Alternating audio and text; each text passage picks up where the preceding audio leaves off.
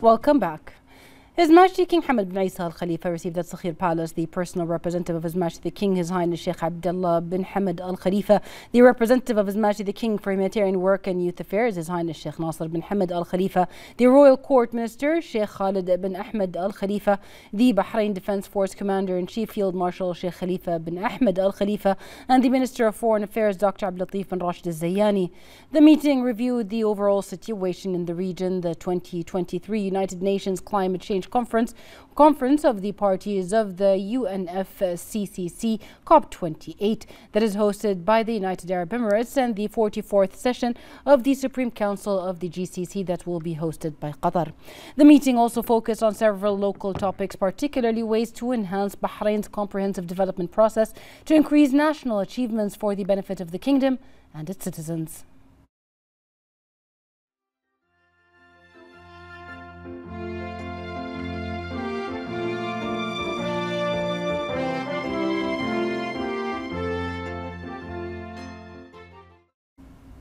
His Royal Highness the Crown Prince and Prime Minister Prince Salman bin Hamad Al Khalifa issued Edict 105 of the year 2023 appointing directors at the Ministry of Youth Affairs based on a proposal by the Minister of Youth Affairs. The edict stipulates the appointment of the following directors at the Ministry of Youth Affairs. Khalid Ahmed Abdurrahman Abdul Ghani, Director of the Information Systems Directorate.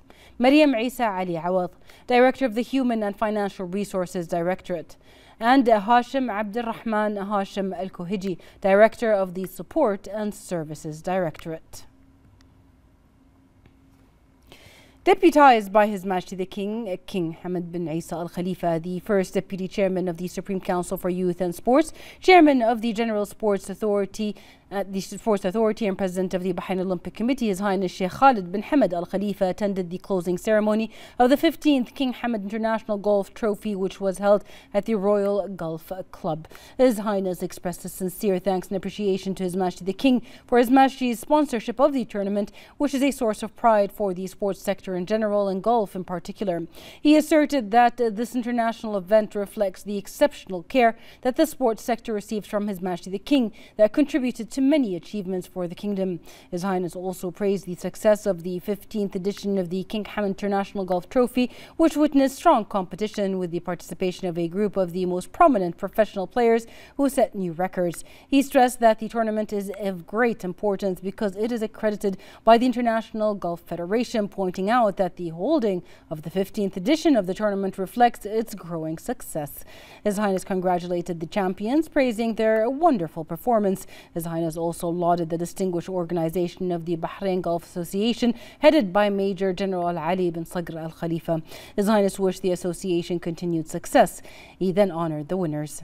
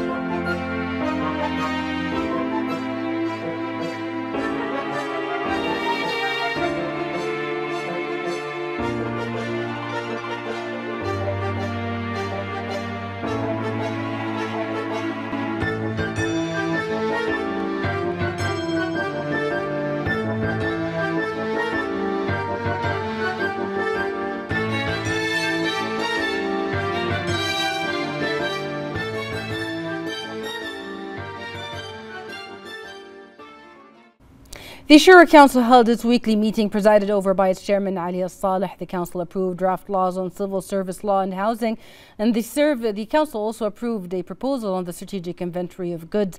It also approved returning the proposal to add a new article to Law 17 of the year 2007 regarding vocational training and referred it to the committee for further study.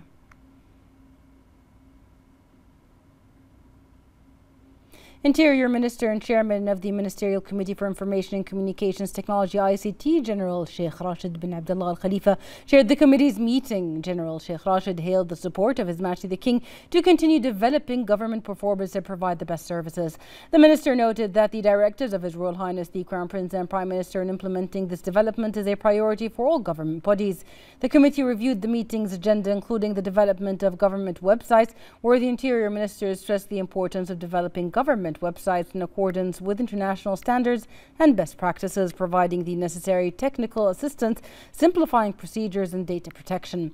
The meeting highlighted the latest developments of the national appointment system as its soft launch will cover two authorities. The minister noted that the system reduces workloads and procedures to provide services according to plans. The committee approved launching the electronic death registration system and the national correspondence system. On the occasion of the conclusion of the sixth edition of the Bahrain Agriculture and Animal Production Show Marai 2023, the Minister of Municipalities Affairs and Agriculture, Engineer Wael Al Mubarak, affirmed that His Majesty the King's patronage of the event has contributed to its outstanding success. He noted that holding the event is consistent with the policies of the government led by His Royal Highness the Crown Prince and Prime Minister to enhance the kingdom's leading position and address the issue of food security. The Minister paid tribute to His Highness Sheikh Nasser for providing all facilitations to hold Marai 2023 at the Bahrain International Endurance Village, which contributed to its success. He noted that the event provided a platform to conclude major deals in the field of agriculture and animal production. The activities of the sixth edition of the Bahrain International Agriculture and Animal Production Show Marai 2023, which witnessed a wide participation from inside and outside the Kingdom of Bahrain. More in this report. For the sixth year in a row, Marai Exhibition 2023 has recorded great public success as a scientific, investment, technical, and entertainment event specializing in the field of agricultural and animal production. Various activities, entertaining programs, exceptional performances presented by the exhibition to the attendees, through which they learned about agriculture and the various types of species of animals of international origin or Bahraini origin, which played a major role in enriching their personal information about these different species. The Bahrain International Agricultural and Animal Production Show represented a qualitative leap in the level of previous exhibitions organized by the Ministry of Municipalities Affairs and Agriculture by attracting rare and purebred species in the world of animals and poultry that were localized and displayed for the first time in Bahrain, in addition to the kingdom's successful experiences in the field of fish farming and agriculture. The Ministry of Industry and Commerce and Dubai Future Foundation signed an MOU on the sidelines of the Joint Supreme Committee between Bahrain and the UAE. On the occasion, the Minister of Industry and Commerce, Abdullah Fakhro, noted that the MOU aims to enhance cooperation in the field of fourth industrial revolution and industrial innovation in line with Industrial Sector Strategy 2022-2026. He also noted that the ministry is keen on benefiting from the experiences and expertise of countries in anticipating a better future for the industrial sector. For his part, the CEO of Dubai Future Foundation, Khalfan Belhoul, has affirmed that this strategic partnership will contribute to employing technological applications, developing flexible legislation, and many other fields. He also said that this partnership will mainly focus on providing investments to support entrepreneurs, innovators, and research and development operations in various scientific and technological sectors.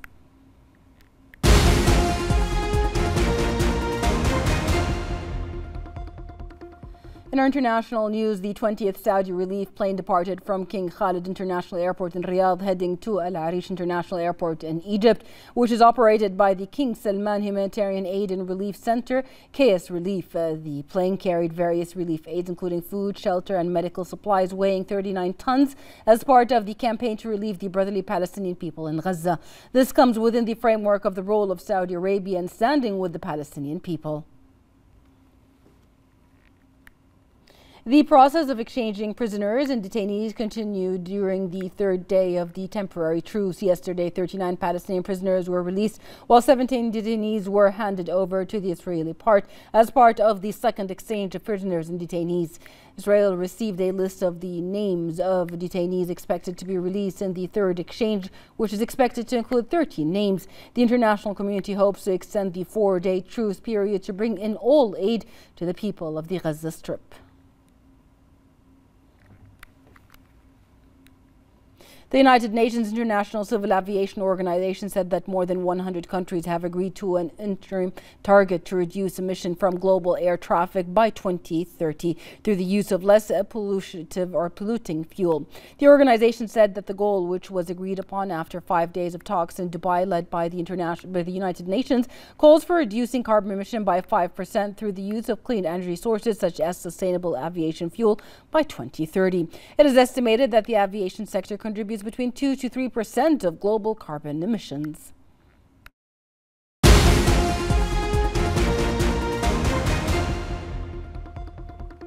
The Bahrain Tourism and Exhibitions Authority announced the final agenda for the events and activities of Bahrain Holidays 2023 season, which is held to celebrate the national holiday of the Kingdom of Bahrain in cooperation with various partners.